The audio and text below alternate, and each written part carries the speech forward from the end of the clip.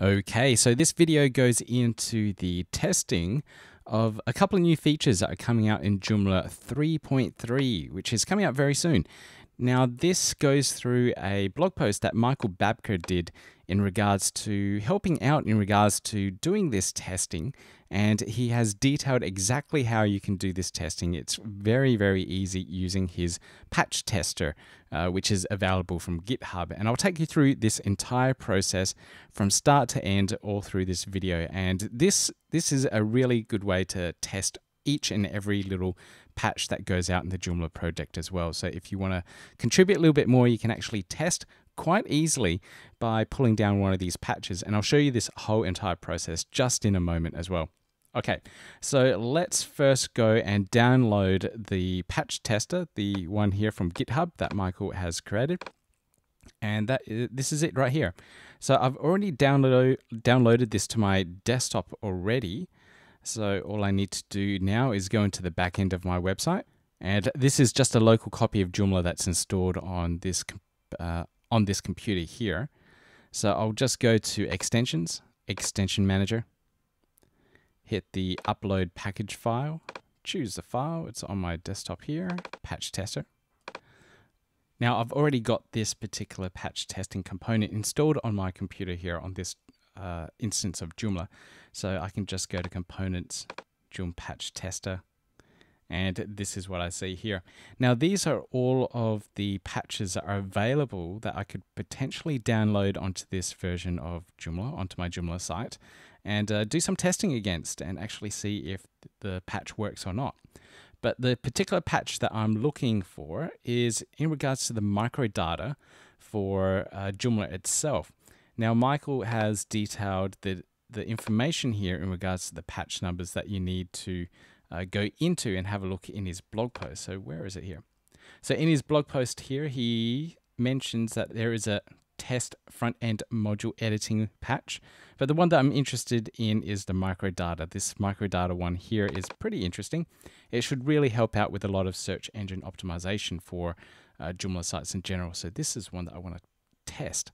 So I'll just copy that patch number 3252, go to the back end of my site again, and I'll put that ID number in the pull ID box. Just press enter to start searching.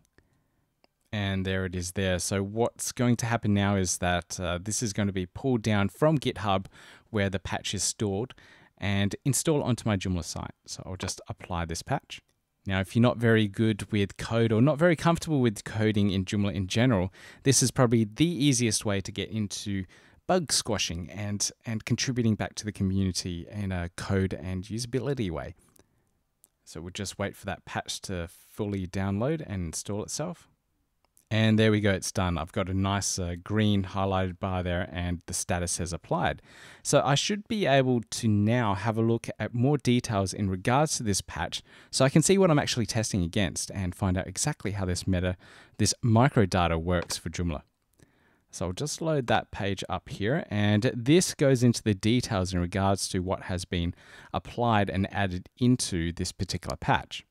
Now I can see from up here that it's been applied to com content articles. Uh, so I can have a little play with that. And I also know that has been applied to com contact as well. So contact information in Joomla will also have the microdata wrapped around it. So let's play around with the contact details and then have a look at how this microdata has affected the articles as well. So let's go right into that. So first off, I'll go to components and contacts. Now, I believe I already have a contact in here. Yes, I've already entered my name in. I'll just have a look at what data I have. So I filled this in quite, with quite a bit of data. I've got editor there, my Joomla Beat email address, address, details, phone number, contact details. They're all pretty much there. So let's go through the next bits. Let's see what else they have here. Publishing information, I'll just leave alone display here. This is where I assume the microdata might be configured. If I need to configure it, yep, I can see it here. So microdata type, person, I'll leave it as that because that sounds pretty much right. Okay, now I'll just save and close that. And I'll make sure I have a menu item linking to my contact details. So I've got a menu item here called contact. And, and I can see here that it is being selected and pointing directly to my uh, profile here. So I'll just go save and browse the front end of the website here and have a look at how that may appear. So I'll go to the contact. Now, from a visual point of view, nothing should have changed. The microdata is purely in the code view. So I'm going to right click and view source. And in here, I should see a little bit of code about a particular schema. So I browsing through this, I won't be able to find it quickly, but I can see here that my name there, that's the contact details, and I can't see a schema wrapped around this. I should be able to, this is the microdata schema here that I should be seeing uh, pulled into Joomla and onto that particular layout. So here is what you could see uh, if the microdata wasn't enabled. So we've got Jane Doe there, and here we can see it with the schema applied. We've got item scope, item types, and the words, uh, the URL to the type of schema that this is wrapping around. And the words, uh, the name, sorry, Jane Doe is wrapped around with uh, item property name. So it specifically tells Joomla that this is a name of a particular person. But I don't see that in my Joomla site at the moment.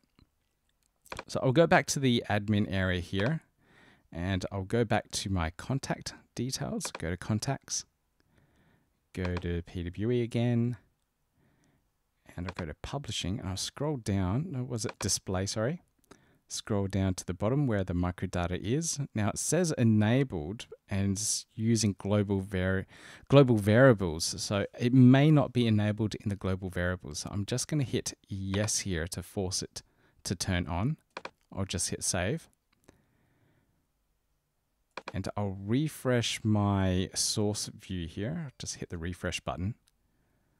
And I'll scroll down to where I saw my name, Peter Bui. And here we go. Now I can see the schema has come into play. So now the schema is wrapping in after I enabled the particular, where was it? The particular display to actually force the microdata to be turned on. So now I can actually see it here in the source in the source of that particular page. I can see the item property name just as specified as it should be here in the uh, documentation from schema.org for a particular person. So let's have a look down and see what other item properties have been enabled and just have a little check if this is uh, appearing to be looking right. I can see here item property job title. That looks good to me. Item scope. So here's another postal address. Yep, that's done right. And then each element here, uh, item property, street address. Yep, it's looking good. It's looking good. I'll probably have to test this against uh, Google's microdata or microdata schema uh, tester testing tool to actually see if this is done correctly, but it can't test a local environment. I'll have to apply this to a live working site so Google can test against that. So that looks looks pretty good at the moment, and uh, I like what's been done. Now let's have a look at how it looks for an article page. So I'll just close that down and I'll scroll up here in Schema and I'll type in article. So I can see the type of uh, microdata layouts that I should be expecting for an article. So this goes through all the types of properties. That's all well and good. If you want to read that in more detail, you can. But this is what I want to see here, the actual example output and what I should be expected to see in regards to what Joomla should be outputting. Okay, so let's go back to the back end here. I'll hit close. And let's go to the article manager and let's pull up one of the articles. Let's have a look here. Welcome to your blog. Let's play with this one. So a little bit of text there. That's the sample text that comes with Joomla when you're installing a blog type sample data. Now I'm guessing this is going to be in the options for this microdata thing again. Yep, there it is. Now considering that the the contact one didn't appear when I had it on use global, I'm going to turn this on as well. And I'm just going to have a quick look at the front end and see the output for that particular article. Uh, was it this one? Welcome to your blog. Right click, view source. Scroll down here and I should be able to see it again quite easily. There it is there. the schema for the article. I can see the item scope, item type. And if I go down a little bit further, I can see the item properties. I'll just copy that and do a find for all the other other elements. I can see the URL come in. I can see the the name come in there. The author comes in, which is fantastic, and it pulls in the next schema here for person as well, which is absolutely fantastic. So it looks like it's uh, working quite well. Like I said before, for the other schema, I would have to test this against the actual uh, Google checker for uh, output schema data. I'll just pull that up. So there it is there, the Google structured data testing tool. Now, like I said, this won't be able to test my uh, output live, but let's just test it with the HTML. That might be a good idea. So I'll copy all this. Copy, copy, copy. Go back to the structured data testing tool. Paste it all on there. Give that to Google for it to crunch. Cool, great. Okay, so I can see the preview comes in nicely. Let's process my data. Great. And this is the actual extracted structured data that comes out of it. So it knows that it's an article. It's got its uh, its language, its URL, name, author, article body, and also the property types uh, a little bit further down here as well. The type of uh, person or the author who wrote this. And because it's not uh, allocated correctly, it's just coming up with Joomla at the moment. But I could allocate that to my personal profile that I set up before under com contact, which was Peter Bui. So that that's really cool. It's a really great step forward for the Joomla project in regards to making sure that all of this microdata is set within uh, the core of Joomla itself. And I'm really excited with some of the great new changes in Joomla 3.3. So if you haven't checked it out yet, if you haven't looked at the list, make sure you check out the blog post, especially the one here by Michael Babker, where he talks about testing it and uh, really giving it a go. There's other a whole bunch of other articles in regards to the features that are coming out in 3.3. So that's it for me for this video. Uh, until next time, everyone. See ya.